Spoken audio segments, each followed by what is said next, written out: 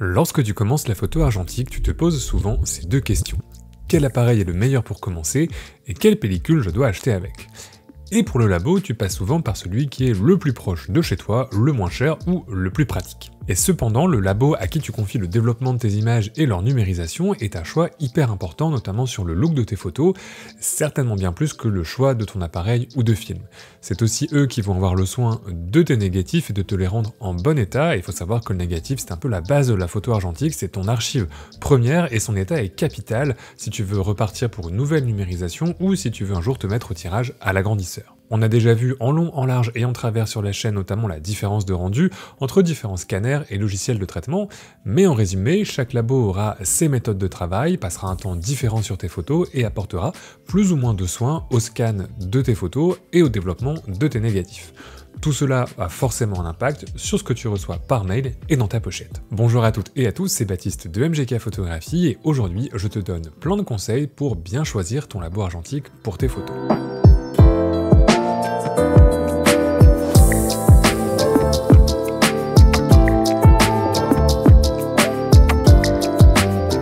Choisir ton labo, on va déjà distinguer trois grands types de laboratoires, chacun avec ses avantages et ses inconvénients.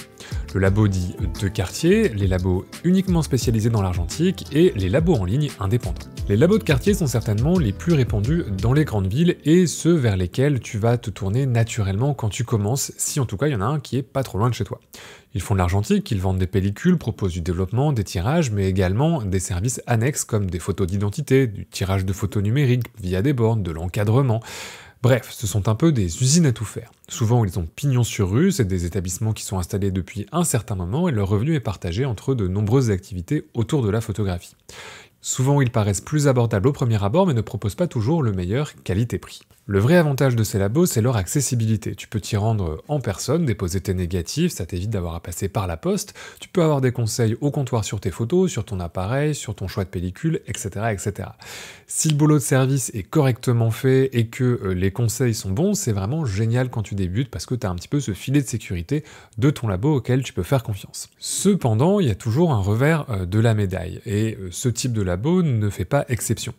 Le but de ce type de labo, ça reste de traiter, pour être rentable, ils sont un petit peu obligés de fonctionner comme ça, ils veulent traiter un maximum de commandes en un minimum de temps.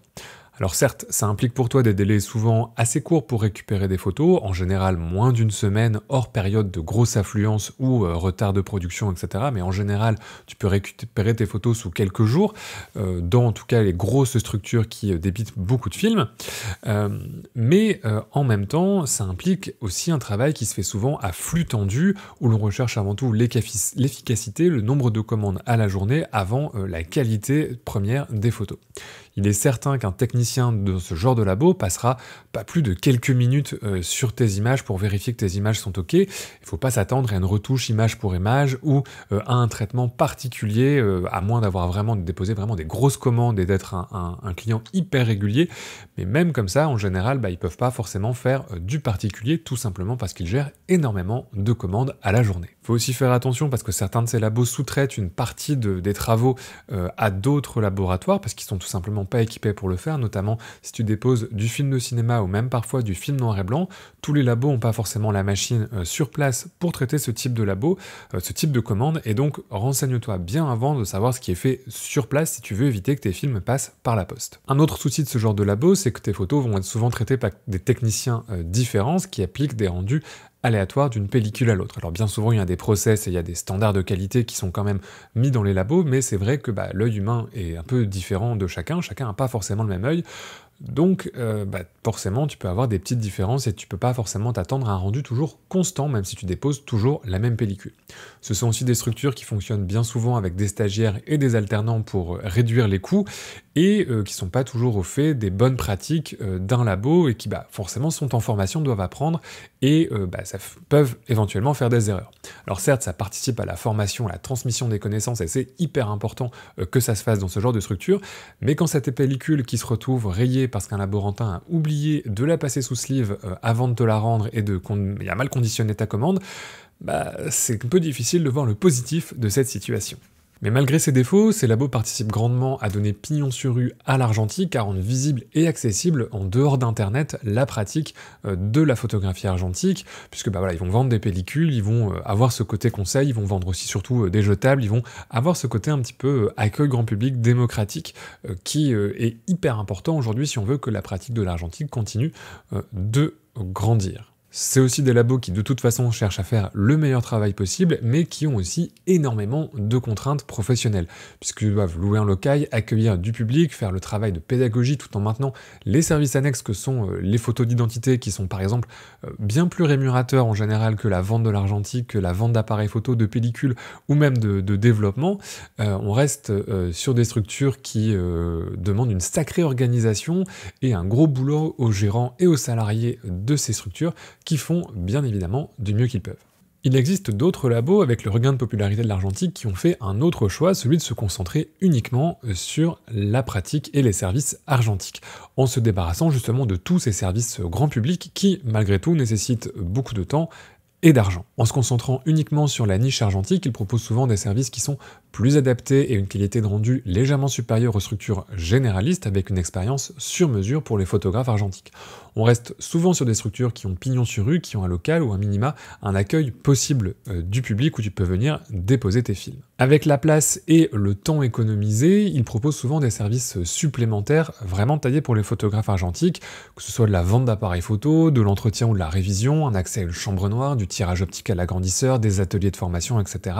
pour compenser l'absence de services annexes grand public qui s'adressent vraiment dans cette niche de l'argentique et euh, voilà, ça leur permet de gagner une certaine forme de rentabilité. C'est une forme nouvelle de laboratoire un petit peu unique qui est vraiment réservée à nous, les photographes argentiques. Il faut à mon avis chérir et soutenir vraiment ces structures qui font un vrai travail de préservation du flux argentique, au-delà de simplement de la vente de pellicules et d'appareils photo, euh, et qui adaptent ça aux besoins modernes avec le scan.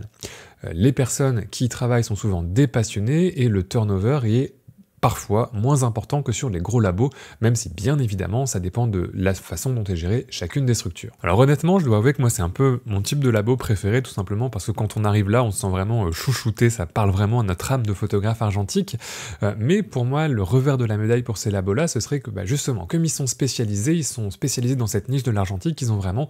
pas le droit à l'erreur. Euh, le travail doit être irréprochable puisque c'est leur spécialité. Donc les scans doivent être euh, super bien, on doit être euh, accueilli vraiment et on doit pouvoir parler argentique et avoir des demandes spécifiques par rapport à nos besoins en tant que photographe argentique. Les négatifs doivent revenir nickel, sans rayures, etc. Vraiment, doit avoir un soin qui est apporté encore plus que dans un labo traditionnel où bah voilà, on peut pardonner un moment de rush, on peut pardonner que bah il y a d'autres il y a d'autres activités qui leur apportent plus d'argent et qui euh, bah, nécessitent parfois un peu plus d'attention que, que l'argentique. Sur ce type de labo spécialisé, ils font que ça c'est leur spécialité et pour moi, ils ont moins de droit à l'erreur. C'est des labos qui ont parfois tendance à être un petit peu plus chers, mais ça dépend, euh, parce qu'en gros, ils se rattrapent en général certaines activités, donc quand le développement va être moins cher, parfois les pellicules vont être un petit peu plus chères, ou les appareils photo qui vendent vont être un petit peu plus chers, les services annexes vont être un petit peu plus chers, ça dépend encore une fois de la gestion, mais euh, voilà, le rapport qualité-prix, on reste sur des tarifs euh, divers, mais qui sont raisonnablement, souvent le rapport qualité-prix est un petit peu meilleur que dans des structures généralistes, parce que justement, il y a un soin particulier qui est apporté à tes pellicules et à ton expérience en tant que photographe argentique. Enfin récemment, il y a un nouveau type de labo qui a vu le jour principalement sur internet et principalement au moment du Covid qui sont les labos indépendants en ligne. Ils sont souvent créés et gérés par une seule personne avec un local qui n'a pas pignon sur rue et euh, ils promettent un travail euh, meilleur que les labos classiques, jouant sur cette relation personnelle qui peut se développer entre le laborantin et euh, le photographe, un peu à l'image de la relation tireur-photographe qui existait auparavant. Et dans les faits, c'est pas du tout un mauvais argument, puisque effectivement, confier euh, tes images toujours à la même personne qui va apprendre à connaître tes goûts en termes de numérisation, tes attentes aussi, euh, bah, ça peut aussi jouer sur la, qualité des photos et euh, le rendu de ton travail. C'est aussi quelqu'un qui va pouvoir être vraiment dans la relation euh, personne à personne et on va pouvoir construire comme ça cette relation importante avec les labos.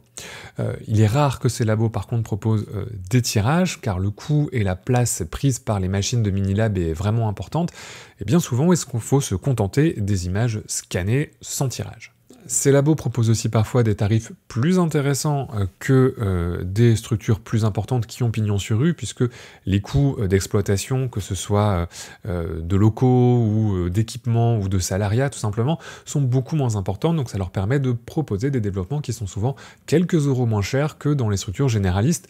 bien qu'il faille souvent bah, compter euh, les frais de port aller et retour, euh, l'aller pour tes pellicules et le retour pour euh, tes négatifs. Si voilà, tu veux passer par là, forcément, comme c'est souvent des labos qui fonctionnent avec des dépôts en ligne, voilà, ça peut, ça, ça peut s'ajouter finalement pas revenir beaucoup plus cher. Il faut vraiment grouper les envois pour pouvoir rentrer dans ces frais. Si ça peut paraître une bonne idée euh, sur le papier d'avoir comme ça cette relation personne à personne avec ton laborantin, c'est sur ce genre de labo que je vais émettre le plus de réserves et qu'il faut peut-être être le plus vigilant. Comme tu as affaire à une seule personne, il faut bien être sûr de la qualité du travail, puisque aujourd'hui, rien de plus facile que de créer un site internet, prendre des commandes, sans livrer quoi que ce soit de qualité. L'équipement de ce genre de labo peut être en effet hyper variable, tu as des gens qui ont fait l'effort de s'équiper avec des vrais scanners professionnels comme dans un vrai laboratoire, et d'autres qui vont scanner ça sur leur Epson V550 en se disant que de toute façon personne verra la différence. Et dans les faits, c'est faux, on peut assez facilement voir la différence si on a un petit œil euh, pour la qualité. De la même manière que le soin apporté au développement, voilà, dans les gros labos, souvent, bah, c'est des grosses machines, euh, et il va y avoir des process hyper importants de nettoyage et d'entretien de ces machines s'ils veulent les conserver, et donc ils sont obligés plus ou moins de les suivre euh, s'ils veulent rester ouverts. Voilà, en tout cas, quand c'est une seule personne, on ne peut jamais être totalement certain du soin qui est apporté au développement, de la qualité qui est apportée à ton scan avant de passer commande. Donc c'est hyper important de même aller demander, poser des questions sur, euh, si c'est pas indiqué sur le site internet, poser des questions avant d'aller envoyer tes films euh, sur euh, quel matériel utilise, utilise, le laborantin ou la laborantine qui gère le laboratoire, quel scanner, quel flux de travail, etc. Tout simplement pour être sûr d'envoyer tes pellicules à quelqu'un qui fait un travail de qualité.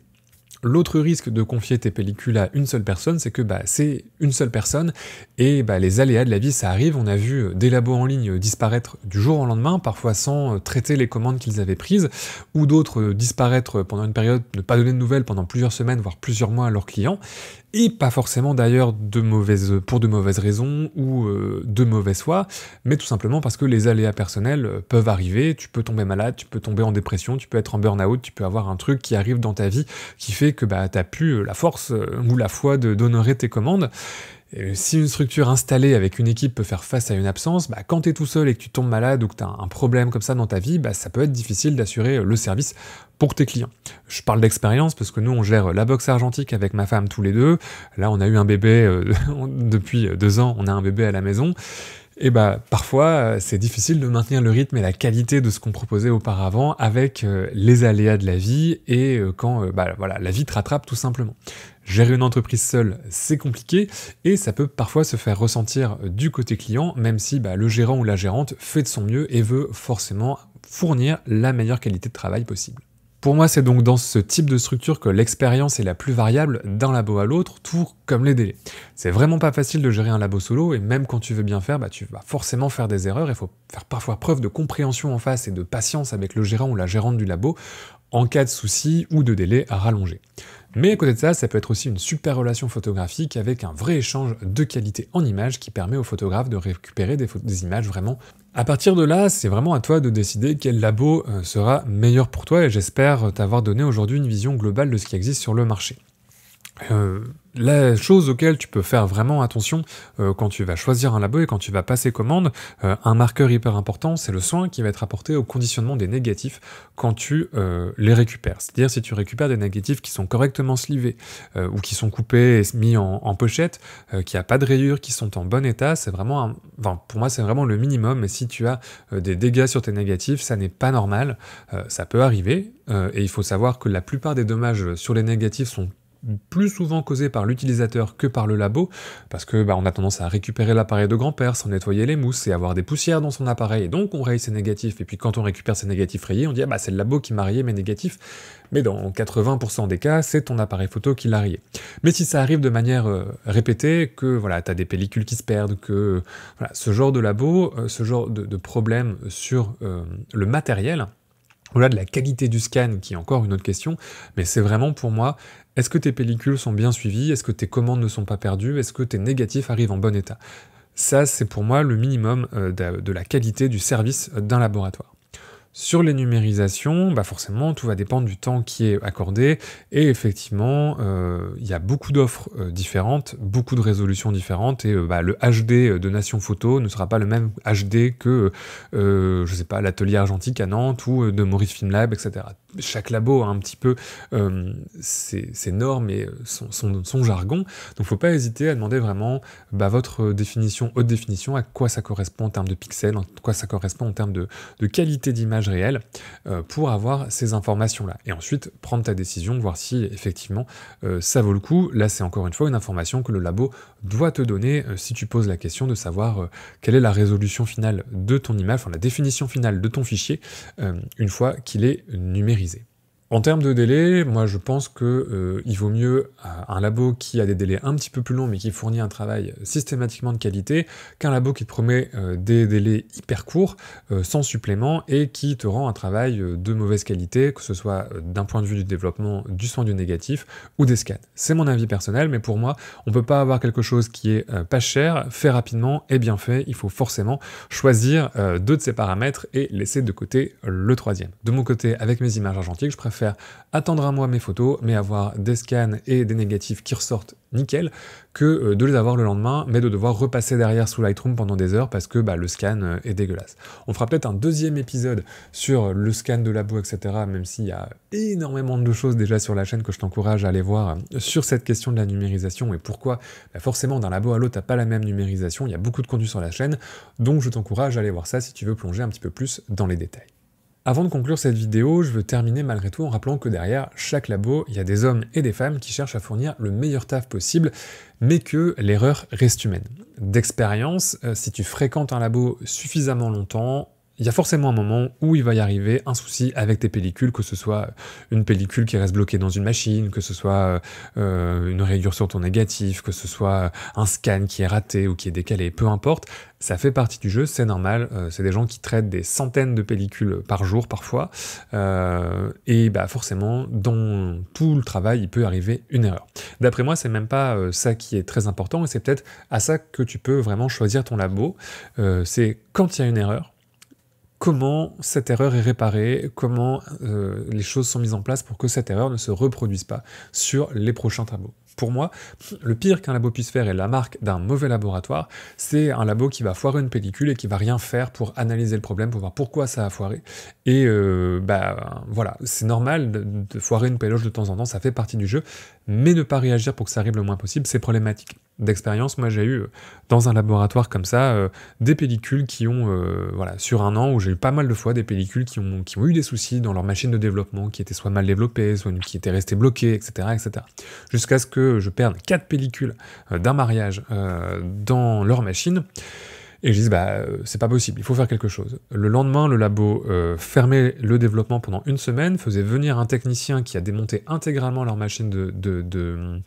de développement pour euh, faire une révision complète de tout l'équipement. Et depuis, euh, j'ai refait confiance à ce labo plusieurs fois et j'ai eu zéro problème.